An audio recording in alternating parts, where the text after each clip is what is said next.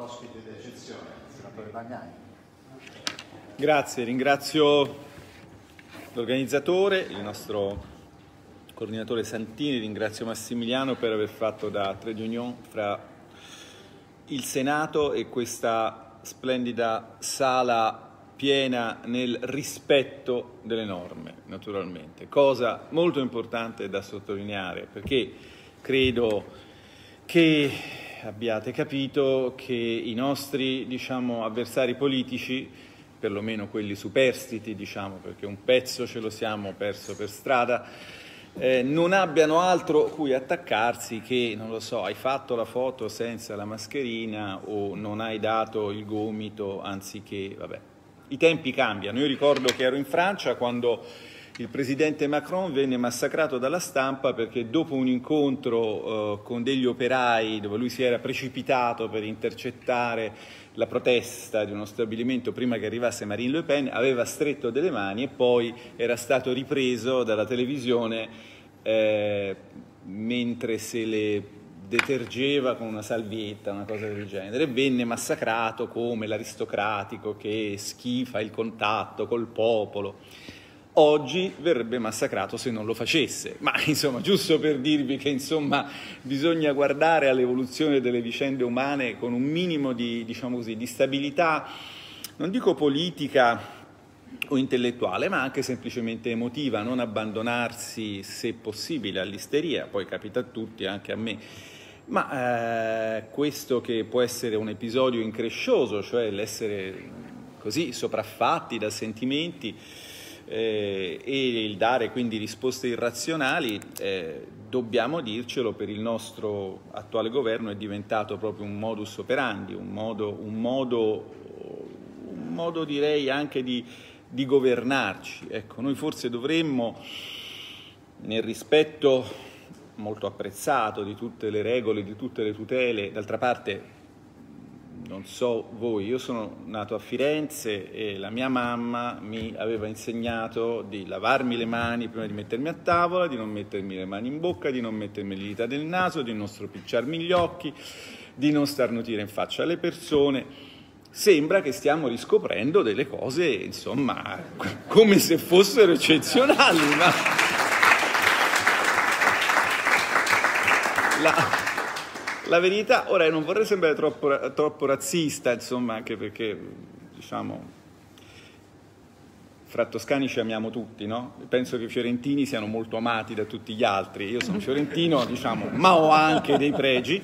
E insomma, eh, fa parte della media civiltà che ci è stata tramandata dai nostri genitori compiere questi gesti cui ora si attribuisce un'importanza, insomma, un significato quasi quasi apotropaico. Prima appunto una signora che mi è stata presentata da Massimiliano, io la vedo ma no, ho già dimenticato il nome, sono veramente imperdonabile, confesso, dice vabbè tutto sommato alla nostra età non ci ciucciamo più il dito. Ecco sì, effettivamente abbiamo, abbiamo superato questa fase, abbiamo elaborato il lutto del seno materno e quindi corriamo meno rischi. No, questo per dire che, scusatemi, ma è un, un dato che ritengo qualche politico dovrà pure eh, diciamo, eh, sbilanciarsi ad affermare eh, è quello che adesso io mi sbilancerò ad affermare dopo aver fatto una premessa.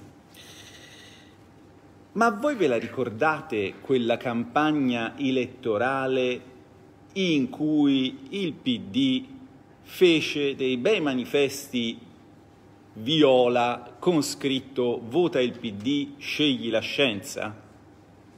Ve la ricordate quella campagna elettorale? Se voi cercate questa frase sui vostri eh, smartphone trovate immediatamente quegli stendardi, che saranno anche costati tanti soldi, quei manifestoni. E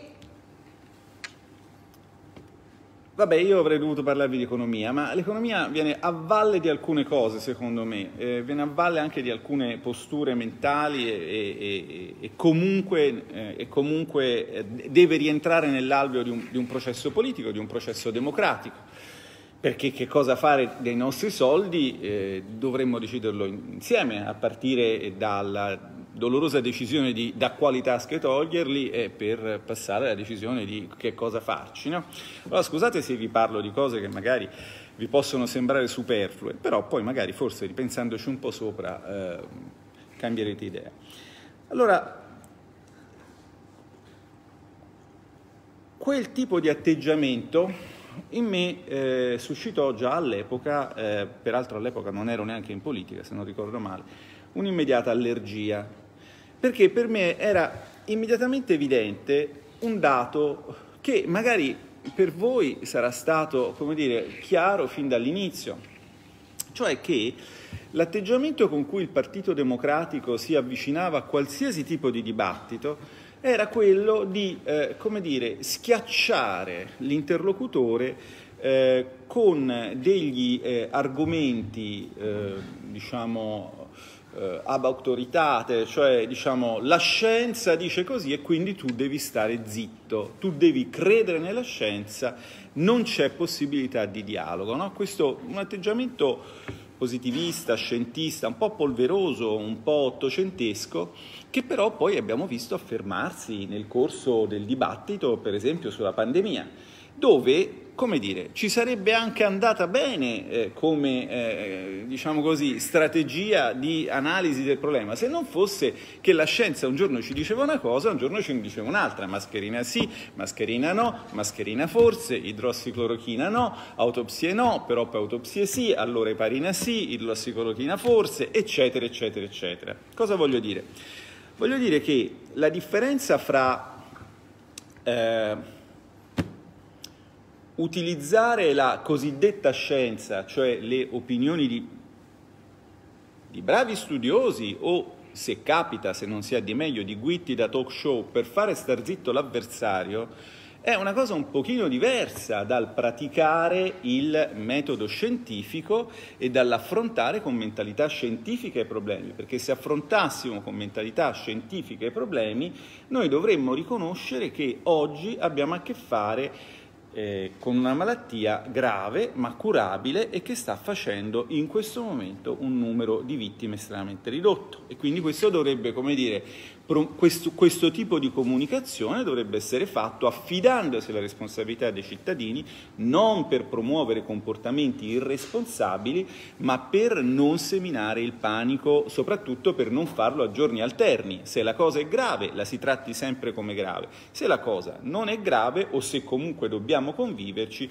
ci si conviva e si dettino delle linee guida che consentano di conviverci. E questo è fondamentale per la vita civile nostra, io diciamo, quando vedo quelli che mi arrivano col gomito mi viene l'urto di nervi, poi devo nasconderlo perché sono in politica, quindi devo avere la padronanza dei miei sentimenti. Quando vengono quelli che mi danno la mano, la stringo, finora è sempre andata bene, l'ultimo tampone era negativo, penso che non avete attaccato nulla, se mi avete attaccato qualcosa vedremo come andrà a finire. Però ecco, vorrei che noi entrassimo nell'ordine di idee che ci vuole razionalità, ci vuole reale fiducia nel lavoro che tanti medici, tanti ricercatori stanno facendo.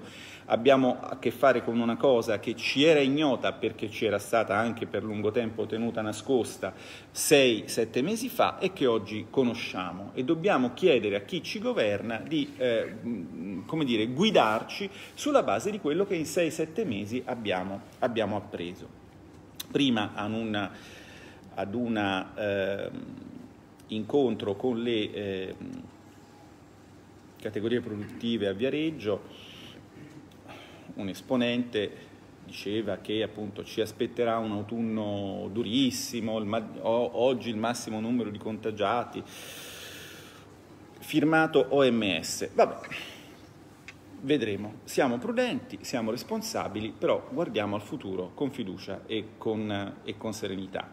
Noi, il PD, un po' di meno ovviamente, ma eh, mh, vorrei un attimo entrare nel avvicinarmi un po' più alla sfera del ragionamento economico, restando però sempre sul tema fondamentale. Il tema fondamentale che eh, secondo me è questo, come voi sapete, noi, e forse anche qualcuno di voi, siamo i fascisti, razzisti, eh, razzisti scusatemi, eh, xenofobi, eh, nazisti, eh, negazionisti, ecco, questa è una parola su cui ci sarebbe da aprire un discorso perché trovo veramente un insulto alla memoria delle vittime della Shoah, eh, l'abuso di questa terminologia, si è espressa in questo senso almeno una presidente di una comunità ebraica importante, ma insomma lasciamo che diciamo, chi racconta il mondo lo faccia come desidera, poi la, la storia tirerà, tirerà una, una riga. Io vorrei allora attirare la vostra attenzione su un dato che effettivamente era, pass- era, passato inosservato anche a me, su una dichiarazione che voglio sottoporre alla vostra valutazione, che era passata inosservata a me e che era stata sottoposta alla mia attenzione qualche giorno fa a Genova da un avvocato in, dopo un incontro pubblico nella parte più interessante, che tutto sommato è quella, almeno dal mio punto di vista, in cui ascolto e quindi spesso vengo a sapere cose che mi sono sfuggite. Questo avvocato mi riferiva in modo particolarmente scandalizzato una cosa che mi ero persa, la perla, eh, la perla del giorno che vi propongo. Il 7 settembre del 2020, intervenendo a Senigallia, il presidente del Parlamento europeo David eh, Sassoli, targato democratico ovviamente, democratico a chiacchiere,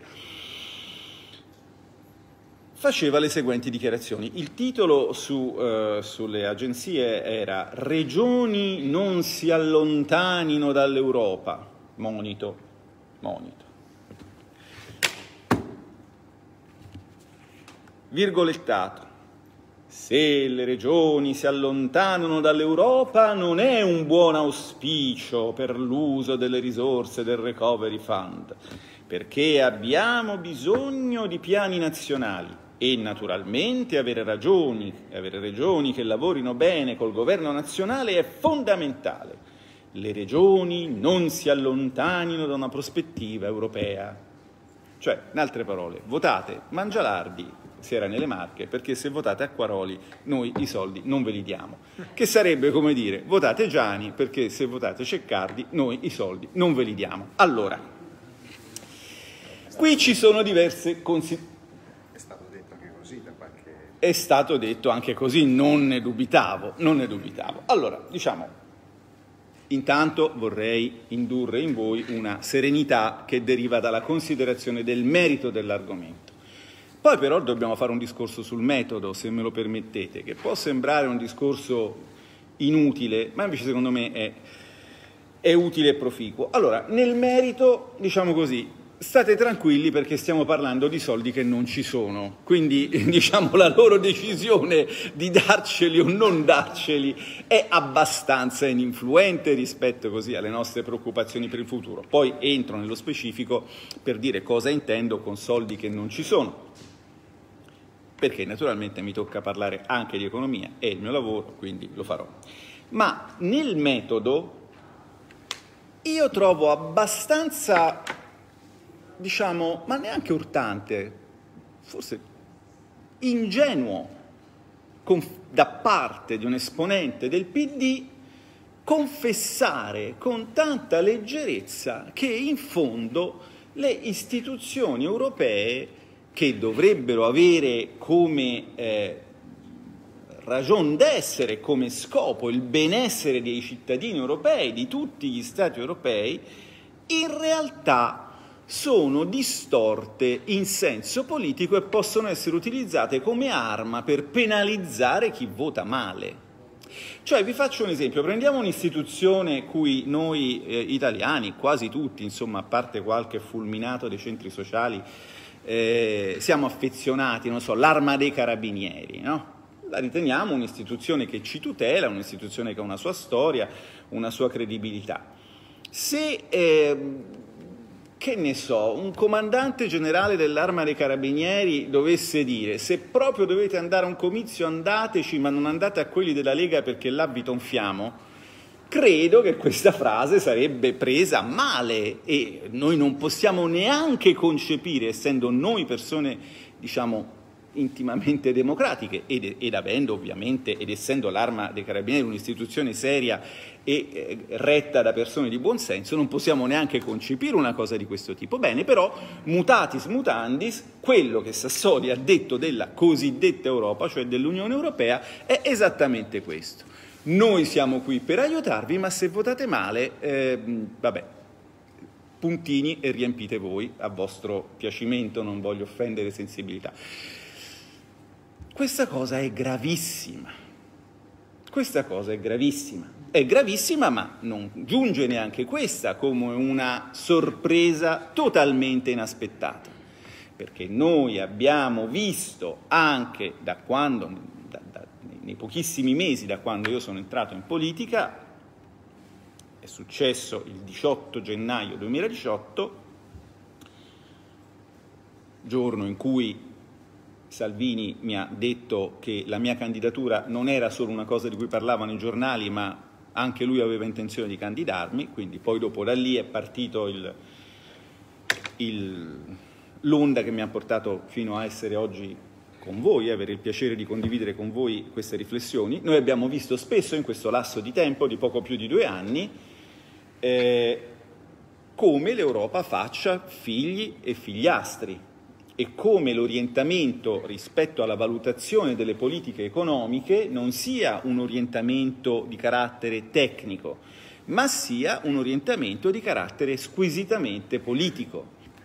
Cioè, in questo momento tutte le politiche dell'Unione Europea a più o meno tutti i livelli sono orientate eh, nel senso di, per quel che riguarda il nostro Paese, impedire a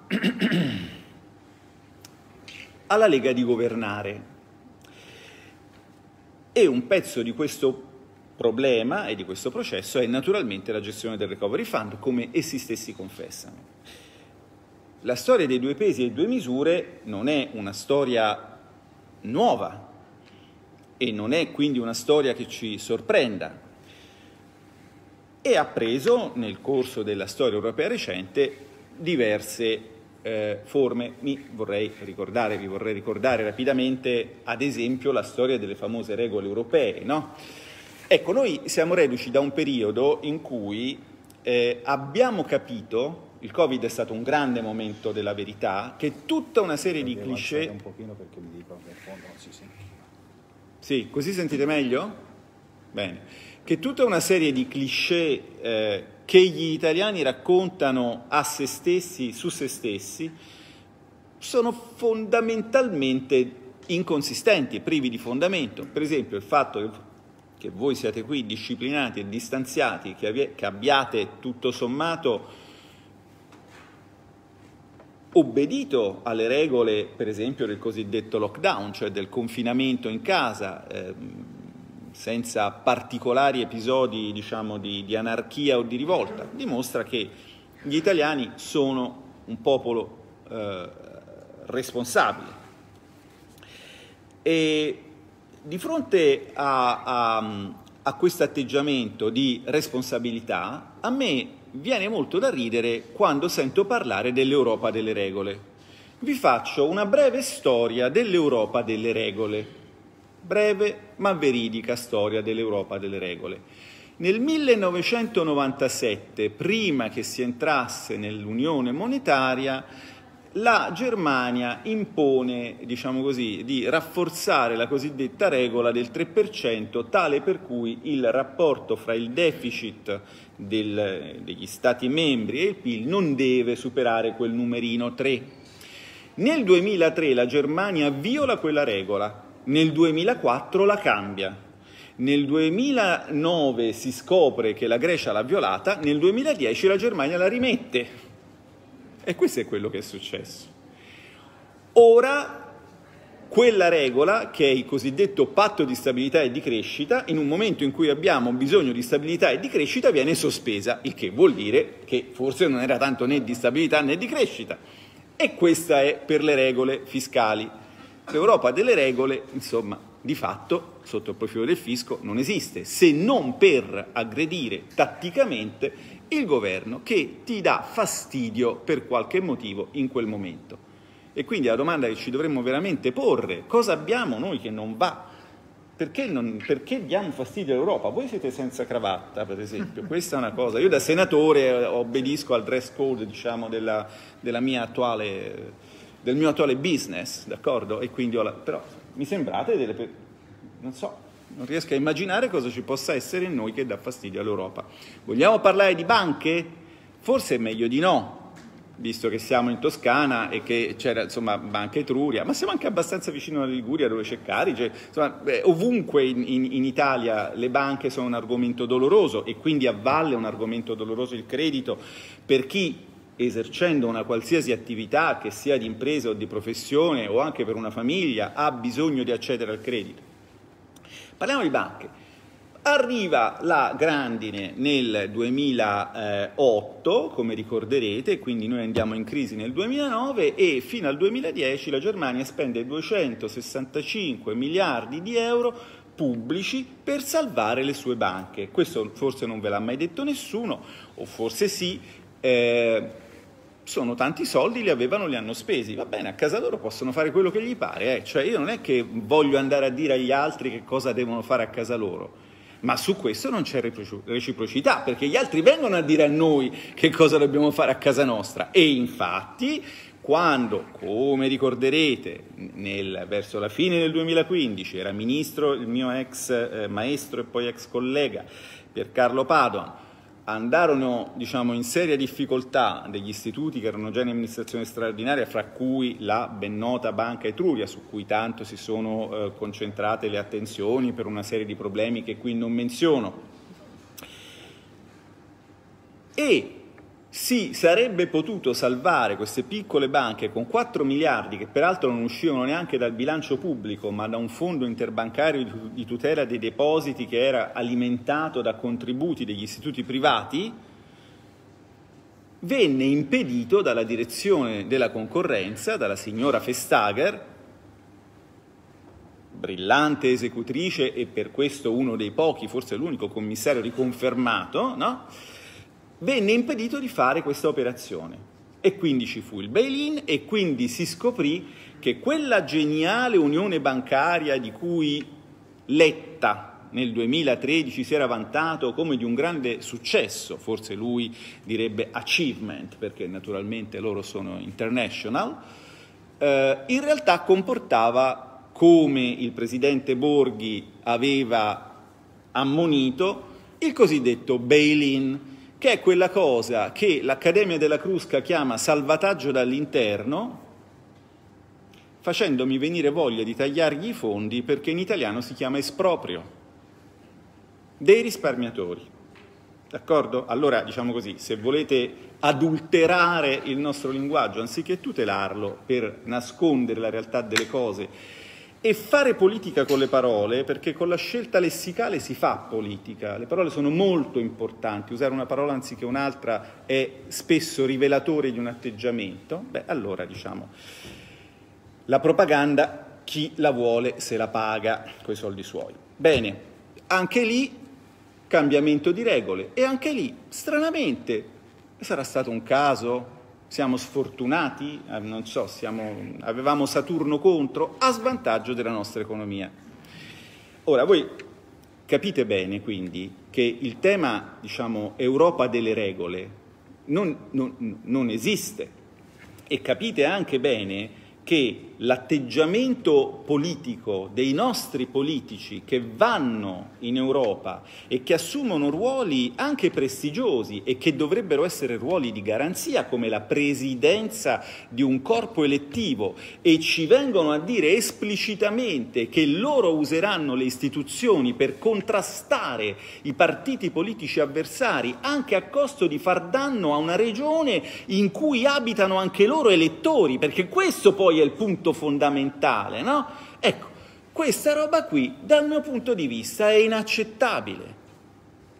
E io lego la mia insofferenza e la mia repulsione di persona probabilmente nazifascista, xenofoba, omofoba, perché così diciamo, veniamo etichettati dai giornali, ma secondo me semplicemente democratica, io lego questa mia repulsione profonda, viscerale, E, e, e quindi mia, eh, questo mio come dire, desiderio di combattere con tutti gli strumenti che la democrazia mi, mi offre, eh, a partire dal voto, chi interpreta questo atteggiamento prevaricatore e, e oppressore, cioè il PD, la lego alla, eh, alla filosofia eh, politica della Lega, che sostanzialmente propugna l'autodeterminazione delle comunità, il concetto diciamo, di autonomia. Anche forse si può anche dire, ieri mi dicevano, no, due giorni fa mi dicevano, siccome mi avevano chiesto di essere moderato in un comizio, qua non so se devo essere moderato o populista, Massimiliano, cosa mi consigli? Moderato, a Lucca moderati, va bene, a Lucca moderati. Populi- però portami anche in un posto dove posso essere populista, dai, vabbè, moderato. Insomma, mi hanno detto che si può essere moderati e spingendosi addirittura a dire indipendenza. Cioè, voglio dire, il problema... Allora, l'idea che magari qualche lucchese ha, d'accordo? Di conoscere Lucca meglio di un belga, hm? e quindi, oh, ma, ma, ma, anche meglio, lo dico io sono purtroppo fiorentino esiliato, quindi sto a Roma, ma anche meglio di un romano, eh? Secondo me è, ha un buon fondamento, e non è molto distante dall'idea che gli italiani possono avere di conoscere l'Italia meglio di un belga, di un altro o dello stesso belga o magari di un lettone. No? Questo, fra l'altro, nei trattati europei c'è scritto e si chiama sussidiarietà. Però i trattati europei la sussidiarietà la tutelano, diciamo, a chiacchiere, nel senso che fra le varie liturgie inutili fra le varie carte, adesso magari qualcuno di voi seguirà ogni tanto le mie dirette, quindi sa quanto è alto il fascicolo di un decreto, ecco, fra i vari pezzi di quel fascicolo, se è roba che viene dall'Europa, c'è anche la valutazione preliminare di conformità con i principi di attribuzione, di sussidiarietà, eccetera, eccetera, eccetera. Tutto ti spiegano, diciamo, ti spiegano perché hanno ragione loro, ma tanto hanno ragione loro perché sono più forti in questo momento, quindi diciamo, come dire, noi fra i vari prodotti di questa terra c'è anche Machiavelli, per cui insomma dovremmo saperlo queste cose qui. Eh, a chiacchiere questo principio è, è, è, tutelato, ma ciò cui noi invece assistiamo in pratica, ciò a cui noi assistiamo in pratica, è una deriva centralista, per cui da lì si vuole controllare tutto, tutto e di più. Finora si voleva controllare tutto e, venendo all'attualità che magari vi interessa, con la cosiddetta pioggia di miliardi, cioè con il Recovery Fund, si vuole controllare di più Vedete, eh, io non so quanto tempo mi dà. Cioè, Tutto quello che vuoi. So, calcio nello stinco dieci minuti prima della, del... Se vedo noia, chiudo prima. Allora, vorrei tenere il discorso in, in, seguendo un, un, filo coerente. E, credo che tutti voi vi siate fatti un'idea molto più nitida di quella che ha l'attuale governo, di quanto sia grave la situazione economica in questo momento del Paese. Credo che molti di voi non credano a un rimbalzo dell'economia che in ogni caso ci riporterebbe, se anche, fosse, eh, se anche coprisse esattamente eh, il, il buco che si è creato, ci riporterebbe del 6% sotto il PIL del 2008, perché nel 2019 noi eravamo del 6% sotto il PIL del 2008. Quindi credo anche che la maggior parte di voi sia sufficientemente alfabetizzata da sapere che il 50% di 100 è 50, ma il 50% di 50 è 25 per cui se tu prima scendi del, del 50% e poi risali del 50% non sei tornato a 100 ma sei tornato a 75. Anche questo è, diciamo, ecco, non, non, si possono linearizzare le percentuali a due cifre, qualche errore si fa, d'accordo? Ecco, credo che voi sappiate tutto questo e tutto questo è molto preoccupante. Se avrete delle domande su questo vi risponderò, ma qui c'è un gigantesco, colossale, enorme problema di democrazia che passa per come ci vengono raccontate le cose e quindi passa per il sistema dei media e naturalmente trova eh, una sponda, un bastione direi, per il momento inespugnabile nelle istituzioni europee, che vi confessano con molta, molto candore la loro ragione d'essere, che è quella di impedirvi di votare come volete votare voi. Voi dovete votare solo come vogliono loro. Bene, traduzione pratica. Allora, naturalmente questa cosa molti l'hanno capita, qualcuno la intuisce, a quasi tutti dà fastidio e quindi il PD dovrà andarsene a casa. Da qui abbastanza presto, insomma, adesso a giudicare dal, dal, caldo è luglio, ma insomma a settembre li manderete a casa. Ecco, questo secondo me è la mia idea.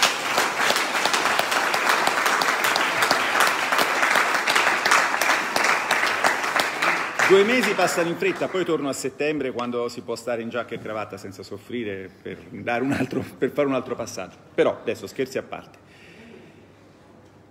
In tutta una serie di scelte eh, negoziali a Bruxelles di questo governo e di gestione della crisi di questo governo a Roma, è evidente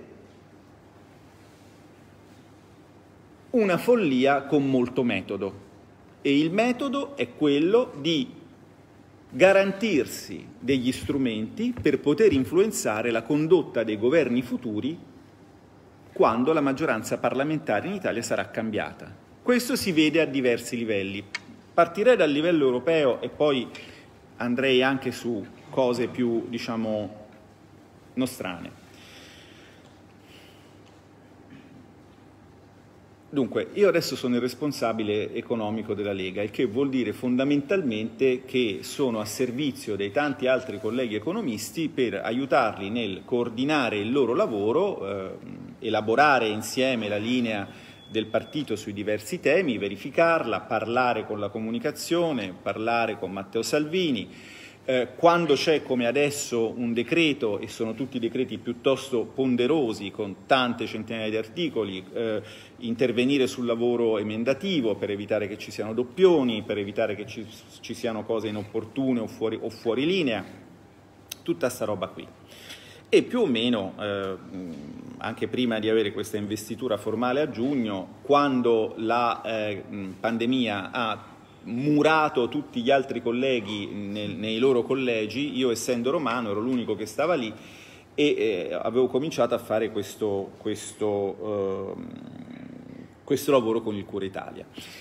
Ma la cosa che comunque ci colpiva era Intanto l'iniziale sottovalutazione da parte del governo dell'entità della crisi. Io vorrei che tutti ci ricordiamo le parole alate del ministro Gualtieri, cui va tutto il nostro rispetto, la nostra simpatia, la nostra riverenza, o, o parte di essa, insomma, magari tutta no, ecco, un pochino, ecco, eh, un po' la teniamo per altri, da, da parte, magari dovesse, non vorremmo esaurirla tutta per lui. Le parole erano caduta grave ma gestibile e, e le parole erano nessuno perderà il lavoro siamo a meno 600.000 occupati e questo perché? Perché si è capito, e io l'ho capito, e l'ho capito, eh, guardate, con sbigottimento, perché insomma una volta ero, ero, ero di sinistra e non riuscivo a capire l'atteggiamento di questi qui. Per questi qui l'unico lavoratore è il lavoratore dipendente. Quindi tu blocchi il licenziamento e hai risolto il problema della disoccupazione. Se chiudi un bar non è uno che perde il lavoro che non lavora più, no, è uno sporco capitalista che viene in qualche modo eliminato come fisicamente, eh, con una decisione politica, no, dalla pandemia. Cioè utilizzare una catastrofe naturale come clava per fare una politica di redistribuzione dei redditi è una cosa sconcia e vigliacca, io non riesco proprio a capire, eppure Eppure vi assicuro che l'atteggiamento era questo. Qual era l'atteggiamento al tavolo del negoziato? Italiani, bottegai, evasori hanno i soldi sotto il materasso, allora noi abbiamo le scadenze fiscali il 16, ma il decreto si fa il 17, così che i soldi intanto paga perché ha paura delle, degli interessi e delle sanzioni. Chi, chi i soldi li ha paghi. Oh, insomma, voglio dire, a me questo atteggiamento sembra profondamente, eh, profondamente non lo so, qua mi mancano gli aggettivi, eppure sapete, avrete visto che ne ho parecchi, eh, in questo caso mi mancano. Mi spiego, d'accordo? Se il ragionamento è che quando arriva eh, un evento esogeno che non dipende dalle scelte dell'individuo, perché nessuno credo abbia ragionevolmente scelto di ammalarsi di un virus che viene da un altro paese, no? Ma potrebbe essere un terremoto, ma potrebbe essere qualsiasi cosa, un vulcano, un asteroide, qualsiasi cosa. Immaginiamo, abbiamo visto tanti film, una glaciazione, qualsiasi cosa, no? Eh, eh, se la filosofia è che tu il ricco, che poi non è diciamo, Bill Gates, ma siamo sostanzialmente diciamo, noi classe media, non lo aiuti perché tanto c'hai soldi sotto il materasso, ma aiuti solo il povero, alla fine di questo discorso tu fai un paio di round di questo discorso qua e avrai solo tutti i poveri e Bill Gates. Cioè un aumento verticale della disuguaglianza. Non so se, se sono stato chiaro. Cioè non è colpa di chi ha lavorato, si è impegnato, ha conseguito degli obiettivi, magari ha preferito studiare un, o ha potuto, perché non sempre... Insomma, non è colpa di chi ha conseguito certi obiettivi se li ha conseguiti. E non è che perché li ha conseguiti tu devi randellarlo per livellarlo verso il basso. A mio avviso, ma questa era molto chiaramente la filosofia politica che emergeva dal, dal confronto con queste persone qui cioè persone che preferivano non aiutare nove persone che se lo meritavano perché secondo loro c'era il rischio di aiutarne una che non se lo meritava. Ecco, sempre il moralismo, no? E poi sottovalutazione dell'entità del fenomeno, filosofia politica dell'odio sociale applicato al, al, al culaco barista o al culaco, non so, piccolo imprenditore, e poi aspettiamo l'Europa, no? Allora, noi da subito avevamo detto, ci vogliono 100 miliardi di extra deficit perché il buco sarà di questa entità. Il buco è di questa entità, alla fine li hanno dovuti fare.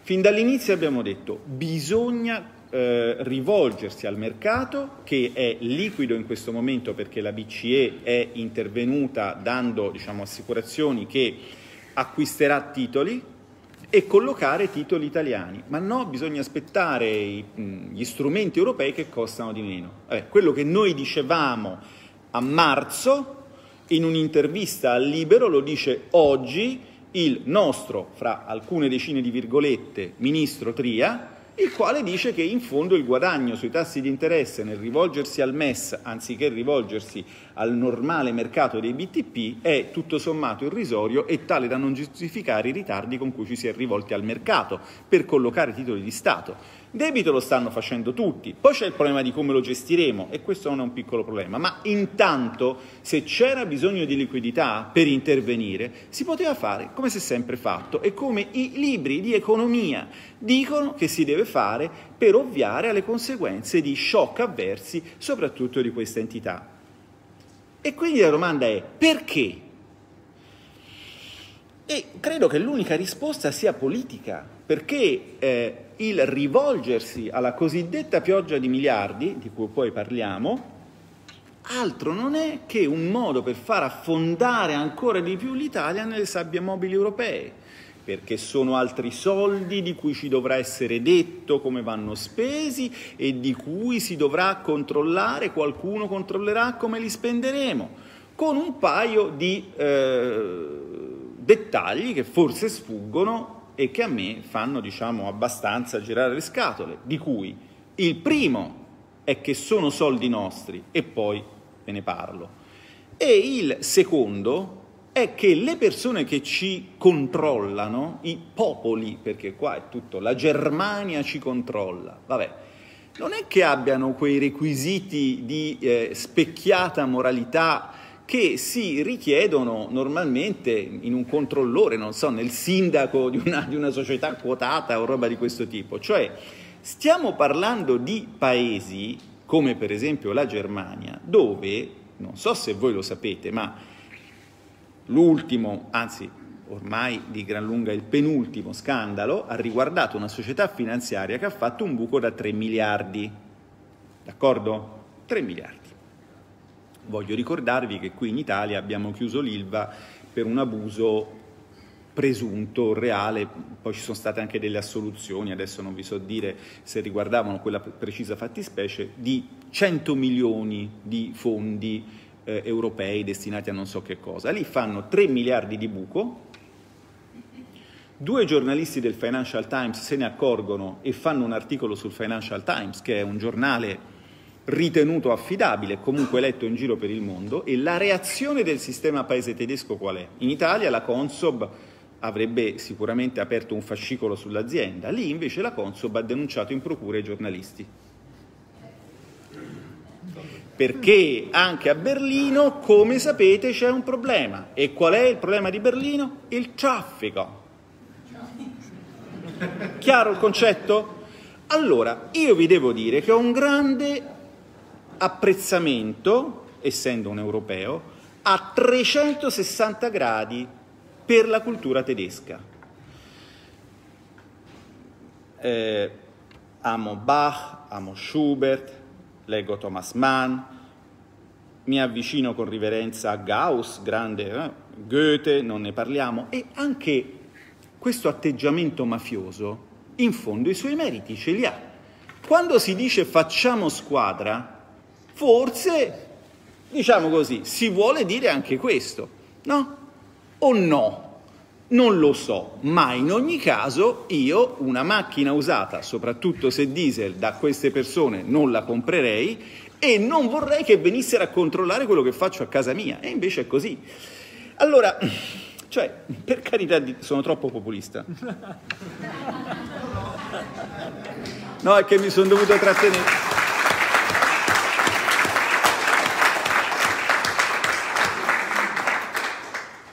Ho avvertito la preoccupazione di Massimiliano, cioè non, mi sa che non, non lo porto più. No, no ma scusate, io, io, io, io cioè, vi, sto, vi, sto, dicendo che non sto, sto cercando di fare quello che tutti noi dovremmo fare, ma non perché, diciamo, ce lo dice Bagnai, ma perché ce l'ha detto anche il nostro Signore, insomma, nei Vangeli ci sono diverse testimonianze.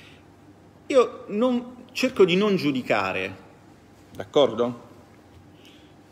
Anche se non me ne frega niente di essere giudicato, insomma. Però cerchiamo di essere... È insopportabile il fetore del moralismo con cui tutto il discorso economico viene, eh, come dire, impastato nelle istituzioni europee e dai giornali che sono poi gli araldi di queste istituzioni. È insopportabile dobbiamo basarci sui fatti, non sui sentimenti. E chi chiede di analizzare i fatti non può essere additato come Lanti, come, come, come, fra, come Franti, come Franti del libro Cuore, no? Quello, il discolo. Per esempio, parliamo dei fatti. Allora,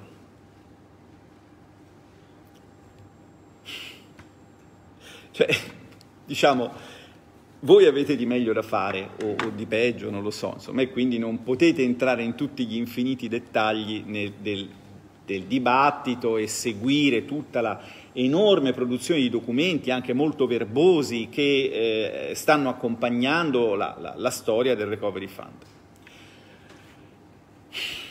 Una cosa che mi ha molto colpito è che Dunque, come voi sapete, in teoria l'Italia dovrebbe aver diritto a circa 200 miliardi di fondi a spanne, di cui una parte a fondo perduto.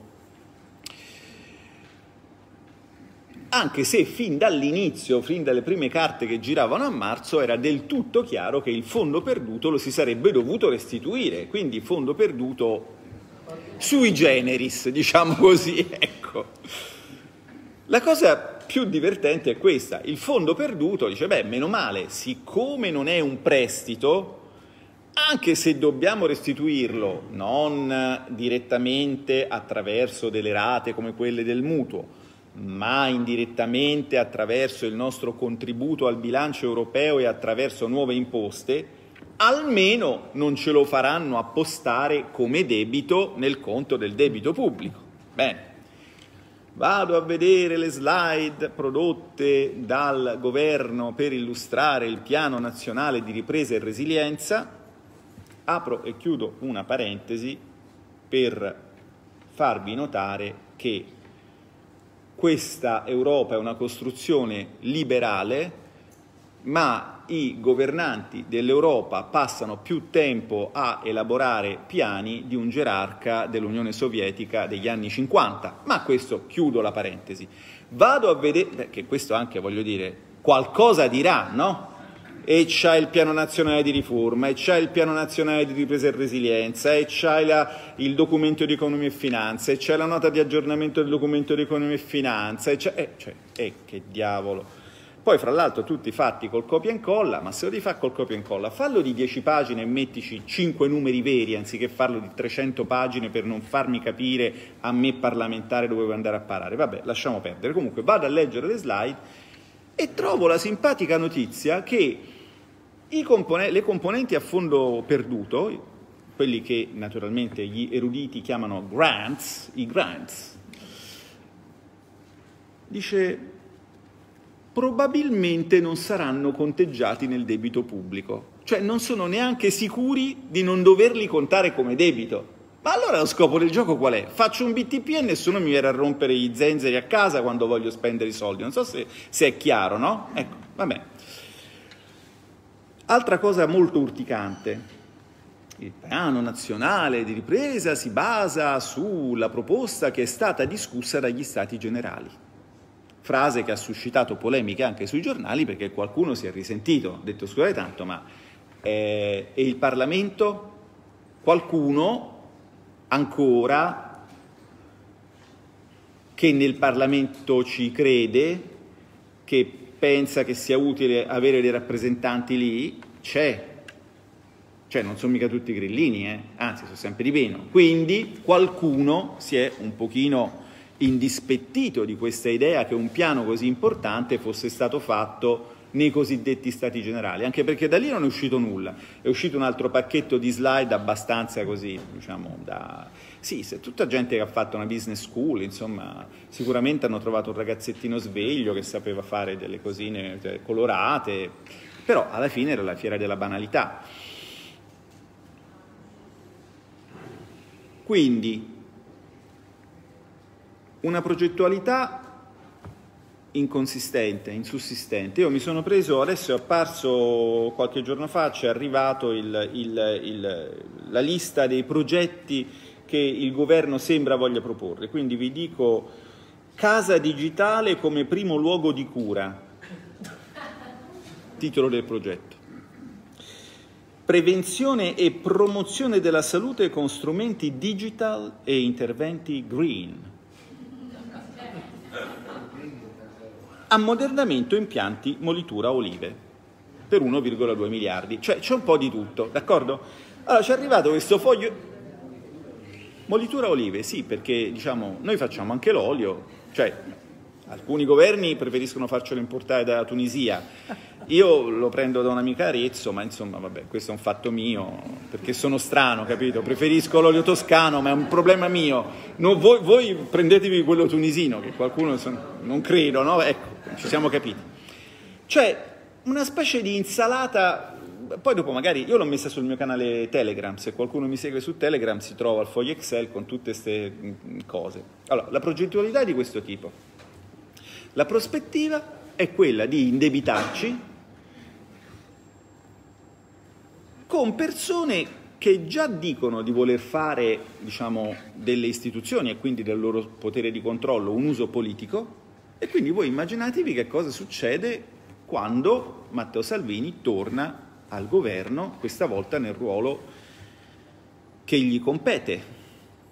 Cioè mi immagino la prima finanziaria e immagino l'occhiuto lettone o il eh, sagace, non so, estone che dice, caro Matteo, il tuo popolo ti ama, hai una maggioranza solida in Parlamento, eh, tutto sommato stai facendo cose di buon senso, ma per me è no, come a X Factor. Perché? Perché non sei abbastanza green o supercazzola analoga.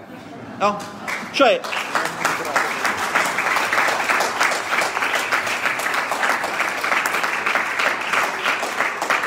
Noi non possiamo accettare questo perché vi do una buona notizia, non ce lo meritiamo. E non ci interessa se il dottor Roberto Saviano, il dottor Andrea Scanzi, la dottoressa Lilli Gruber e via dicendo pensano che noi come paese ce lo meritiamo perché pensano di essere migliori del loro paese. Fatti loro, magari è vero, ma non decidono loro. Noi non meritiamo di essere governati in questo modo, meritiamo di sbagliare da soli. Lo sappiamo fare benissimo. D'accordo? Se noi non sapessimo sbagliare da soli, Lucca non sarebbe la meravigliosa città che è. E ve lo dice uno che viene da Firenze, quindi tendenzialmente se la tira un po', d'accordo? Quindi voglio dire, cioè tutta questa cosa è, è un delirio di insensatezza. Io non so come ci siamo finiti dentro. Ci sono delle volte che, per, diciamo così, per, per non disperarmi, penso che sono successe anche cose più strane in Europa. Cioè, oggettivamente, immaginatevi una ragazzina di 16 anni che parte dalla campagna, va dal re di Francia, si fa dare un'armatura e guida l'esercito per liberare Orléans da, dagli inglesi, no? Giovanna d'Arco. Oggettivamente quella è una cosa stranissima. Ecco, diciamo, l'Unione Europea e questi meccanismi che vi ho descritto sono bislacchi, ma sono un po' meno strani. Non è detto che però finiscano molto meglio, secondo me, ecco, nel, senso che, nel senso che si percepisce oltre al fastidio e alla repulsione che tutti noi cominciamo a provare per questa sensazione di non essere arbitri del nostro destino e per questa sensazione di essere in pessime mani, sia all'estero che in Italia, avevo promesso due parole sull'Italia e poi ve le do, eh, noi eh, non, non, riusciamo a vedere un orizzonte di, di, di, di progresso e, e di sviluppo all'interno di questo quadro. Due parole sull'Italia. Come questo governo ha aiutato i suoi cittadini. Allora, dando credito d'imposta a imprenditori che non avrebbero fatto utile e non avrebbero potuto utilizzarlo, mettendogli ogni possibile bastone fra le ruote rispetto alla cessione di questo credito d'imposta, per il semplice motivo che c'è il terrore che si crei una moneta parallela di natura fiscale. Non voglio entrare in questi tecnicismi, questa è una sottolineatura che qualcuno eh, apprezzerà, non è particolarmente rilevante, e poi soprattutto facendo quella cosa geniale che è consistita nel fare indebitare le imprese affinché pagassero le tasse che di fatto è una trasformazione di debito pubblico in debito privato, d'accordo? Cioè eh, in un debito sostanzialmente più tossico e che comunque diventerà debito pubblico dopo, perché quando finito il preammortamento bisognerà ricominciare a restituire in sei anni i soldi che si sono presi, secondo una delle misure del decreto liquidità, mi riferisco in questo caso alla fascia sotto i 30.000, e magari le imprese non saranno in condizioni di onorare, eh, colpa di nessuno, ma se questi continuano così, io il decollo verticale dell'economia europea non lo vedo, eh, quei prestiti, essendo garantiti dallo Stato, dovranno essere rimborsati dallo Stato e a quel punto al governo ci saremo noi. Ecco, questo è il concetto. Quindi loro hanno tolto le clausole di salvaguardia di cui vi ricorderete, no? riguardavano l'IVA, era questa tagliola che era sempre presente su ogni legge di bilancio, come finanziate le clausole di salvaguardia, come finanziate le clausole di salvaguardia. Semplice, le hanno finanziate a deficit, cioè le hanno cancellate, ma ci lasciano un'eredità ben più pesante che è quella di tutti questi. Allora, mi sono lamentato degli altri, che cosa avremmo fatto noi? Ma per esempio, partendo dall'ultima cosa che vi ho detto, per quel che riguarda questo intervento che è già in itinere, secondo noi bisognerebbe sterzare radicalmente. Bisognerebbe decidere che delle somme erogate metà la si converte in un finanziamento a fondo perduto e quindi a quel punto lo Stato immediatamente rifonde gli istituti bancari e sull'altra parte si rinegoziano le scadenze e le si portano almeno a 20 anni, perché in 6 anni tu non stai dando nessun aiuto sostanziale all'economia reale, stai dando un aiuto al sistema bancario che per carità non è il nemico. Eh, insomma, io sono in commissione con un illustre collega che ha scritto un libro che si chiama Bankster Ora, lui potrà anche avere i suoi motivi e le storie raccontate eh, saranno sicuramente veritiere e getteranno anche una luce su alcuni comportamenti di alcuni esponenti di quel mondo censurabili. Resta il fatto che noi siamo una forza eh, politica che diciamo, sarà di governo e che comunque è diciamo, favorevole a un'economia di mercato. Vi ho appena detto che mi viene una certa allergia eh, all'Europa perché ci propone sostanzialmente un'economia ultra pianificata, quindi per coerenza devo dirvi che un mercato regolato dallo Stato ci sembra. Quindi non è che la banca è il nemico.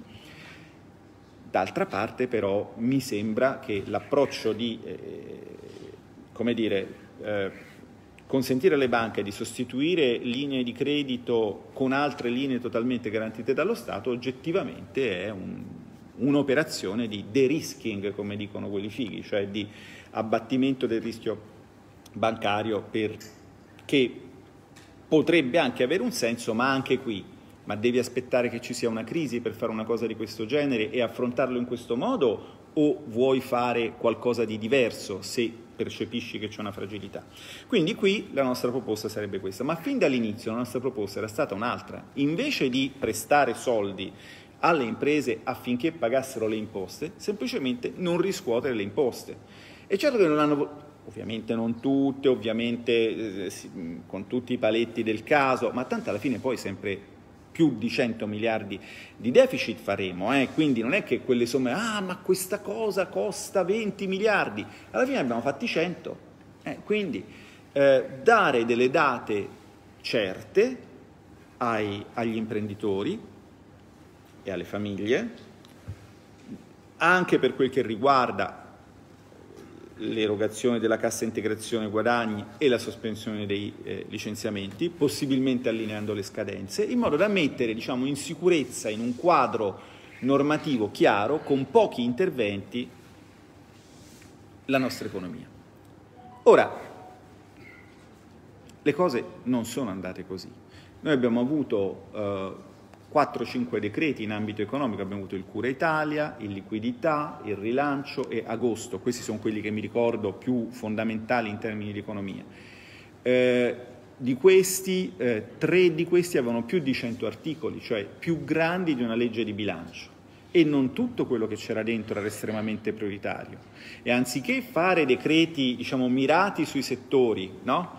Per consentire anche alle commissioni parlamentari di lavorarli in modo più snello. Questi decreti omnibus dove dentro c'è tutto, marchettifici a profusione, d'accordo? Fiducia in modo che diciamo, non ci sia un dibattito parlamentare e poi scopri delle perle. Per esempio, in questa emergenza una pressante esigenza del MEF è assumere 50 persone istruite perché? Perché neanche loro sanno come gestire tutta la burocrazia del recovery fund, quindi hanno bisogno di prendersi 50 unità in più. Sarà vero? O sarà magari che siccome sentono puzza di cadavere vogliono mettere altri 50 dei loro dentro al MEF, così poi quando arriviamo li troviamo lì? Tutte e due, secondo me, ma la seconda la pondererei al 51%, la prima 49%, no? Perché il loro metodo è questo. Come hanno occupato tutti i gangli del potere? In questo modo. Giusto per dirvi che quando toccherà a noi, qui e a Roma, ci sarà tanto lavoro da fare con tanta, tanta eh, pazienza. Bene, concludo perché non, non, non, voglio tenervi qua tutta la sera, di cose da dirvi, di cose da dirvi ne, avrei, ne avrei tante. Eh, siete tutti consapevoli dell'importanza che hanno queste eh, elezioni, non solo per il loro scopo immediato, che è quello di assicurare un ricambio a livello regionale e quindi per consentirvi di avere dei rappresentanti che, come ad esempio Massimiliano, sono assiduamente presenti sul territorio, hanno dimostrato di esserci non solo tre giorni prima delle, delle elezioni, ma anche perché, vedete, io quando in Senato mi sposto verso la sinistra, perché devo andare magari a parlare con qualche collega per chiedere informazioni su un provvedimento, improvvisamente sento parlare solo toscano. Da Barga a Firenze a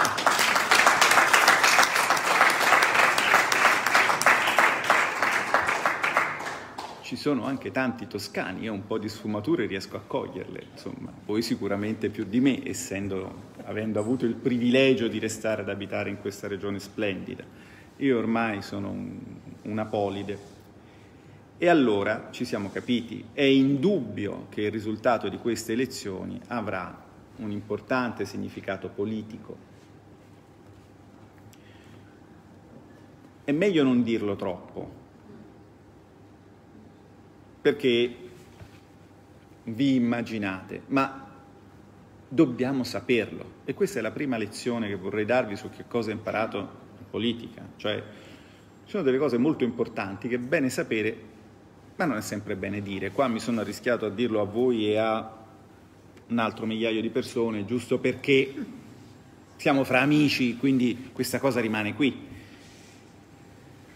Quindi l'indicazione qual è? È che alla fine si conteranno i voti e che un voto in più è meglio di un voto in meno. Voi operate in un contesto molto difficile e non è certo mia intenzione chiedervi diciamo, atti di particolare eroismo, insomma non abbiamo bisogno di, diciamo così, di Giovanni d'Arco, però parlare con un po' di buonsenso, far capire per esempio a chi, vi, eh, a chi, eh, a chi incontrate che il Sole 24 ore ieri diceva che le tasse europee arrivano il primo gennaio, i soldi dall'Europa arrivano forse dopo giugno e comunque dovranno essere restituiti, per cui forse le cose non sono come le racconta la televisione. Ma far capire anche altre cose, far capire che il PD ha detto che utilizzerà questi soldi per penalizzare, no? uh, le, occupa le istituzioni e le gestisce con finalità sostanzialmente squadristiche, non usate questo termine perché loro si offendono, eh, ma insomma, ecco, cioè, però trovate, cioè, trovate, nella vostra creatività, ma nella vostra sincerità, nella vostra capacità di cogliere il momento opportuno, il modo di, senza, senza, senza stalkerizzare, tanto è, è pur vero che diciamo, siamo nel 2020, se uno il PD ancora non l'ha capito è difficile che possa capirlo, però insomma, uno ci prova, ecco, è tutto importante e soprattutto siateci, perché la vittoria è, è, è, il giorno dopo, non è il giorno prima. Ecco, il giorno prima non c'è ancora, non c'è ancora eh, risultato. So che, so che vi impegnerete e voglio aggiungere un'ultimissima, un'ultimissima sottolineatura.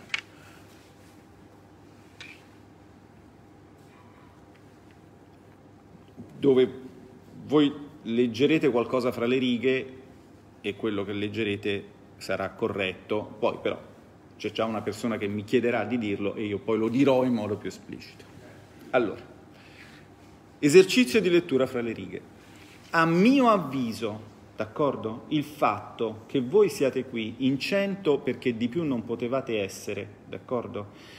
Ad ascoltare uno che tutto sommato vi ha parlato di cose abbastanza astratte e apparentemente distanti distanti dalla vostra vita quotidiana, testimonia una cosa ovvia, che avete volontà di partecipazione, perché come dicevano loro libertà e partecipazione, volete essere liberi e avete voglia di politica, cioè avete voglia di ascoltare e di confrontarvi con i vostri rappresentanti e di capire chi state mandando a rappresentarvi, per esempio, nelle istituzioni regionali.